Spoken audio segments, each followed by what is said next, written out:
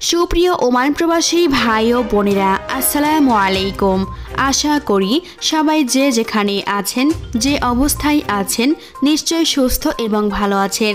আজকে ছাব্বিশে আগস্ট, রোজ বৃহস্পতিবার।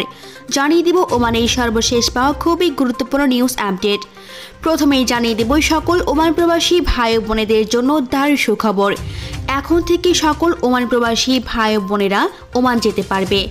বাংলাদেশ থেকে ওমান যেতে যা যা করতে হবে সকল ওমান প্রবাসী ভাই বোনেদের জন্য জানিয়ে দেব তার বিস্তারিত তথ্য।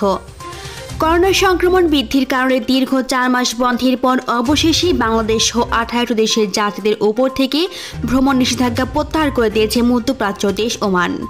এই সিদ্ধান্ত আগামী পয়লা সেপ্টেম্বর থেকে কার্যকর হবে। তবে প্রবাসীদের পুনরায় ওমান যেতে হলে বেশ কিছু শর্ত পূরণ করতে হবে, যার মধ্যে রয়েছে ভিসার মেয়াদ থাকতে হবে এবং অবশ্যই পাসপোর্টের মেয়াদ ছয় মাসের অধিক থাকতে হবে। আগামী পয়লা সেপ্টেম্বর থেকে নতুন এবং পুরাতন প্রবাসী সকলেই ওমান যেতে পারবেন। তবে আরও কিছু শর্ত জুড়ে দিয়েছে ওমান সরকার। এরই মধ্যে রয়েছে ওমানের অনুমোদিত করোনা টিকার সম্পূর্ণ ডোজ নেওয়ার চোদ্দ দিন পর ওমান প্রবেশ করতে পারবেন। সেক্ষেত্রে কিউআর কোড সম্মিলিত টিকা কার্ড দাখিল সাপেক্ষে সেদেশে প্রবেশ করতে পারবে।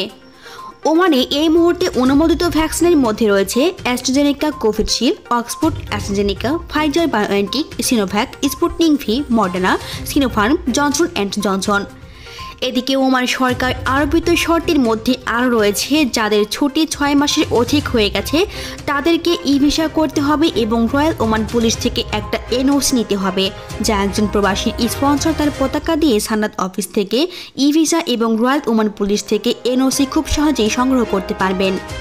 বিমানে টিকিট করার সময় ওমান এয়ারপোর্টে করোনা পরীক্ষার ফি, পরিশোধ সহ টিকিট বুকিংয়ের যাবতীয় ডকুমেন্টস সঙ্গে রাখতে হবে। ফ্লাইটের চব্বিশ ঘণ্টা আগে করোনা টেস্ট করে কিউআর সম্মিলিত রিপোর্ট সংগ্রহ করতে হবে। যদিও ছিয়ানব্বই ঘণ্টা থাকে পিসিআর পরীক্ষার। তবে সবচেয়ে উত্তম হচ্ছে ফ্লাইটের একদিন আগে করোনা পরীক্ষা করা। যাতে কোনো কারণে ফ্লাইট বাতিল হলেও পুনরায় করোনা পরীক্ষা না করাতে হয়। ওমান প্রবেশের পূর্বে মোবাইলে তারাশত প্লাস অ্যাপস ইনস্টল করুন। অ্যাপস রেজিস্ট্রেশন করেই ভ্যাকসিন রিপোর্ট ও করোনা টেস্ট রিপোর্ট আপলোড করতে হবে। এক্ষেত্রে একজন যাত্রীর কাছে স্মার্টফোন থাকা বাধ্যতামূলক। অন্যথায় ওমান এয়ারপোর্টে যাওয়ার পর তাকে চরম ভোগান্তিতে পড়তে হবে।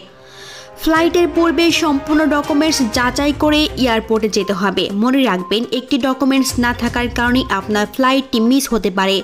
আর এতে করে আর্থিক এবং মানসিকভাবে চরম ক্ষতিগ্রস্ত হতে হবে আপনাকে। সর্বশেষে মনে রাখতে হবে, সকল যাত্রীকেই ওমান প্রবেশের পর পুনরায় করোনা টেস্ট করা হবে। সেখানে যদি করোনা না ধরা পড়ে, তাহলেই কেবলমাত্র ওমান যেয়ে কোনো কোয়ারেন্টাইন করতে হবে না। তবে রিপোর্ট যদি পজিটিভ আসে, তাহলে নিজ খরচে দশ দিন হোটেল কোয়ারেন্টাইনে থাকতে হবে সকল ওমান প্রবাসী ভাই ও বোনেদের। এখনকার মতো আপডেট এটুকুই। ওমান সহ আর মধ্যপ্রাচ্যের বিভিন্ন দেশের নিউজ আপডেট পেতে অবশ্যই আমাদের চ্যানেলটি সাবস্ক্রাইব করে পাশ থাকা বেলাইকনটি বাজিয়ে দিন। ধন্যবাদ সবাইকে।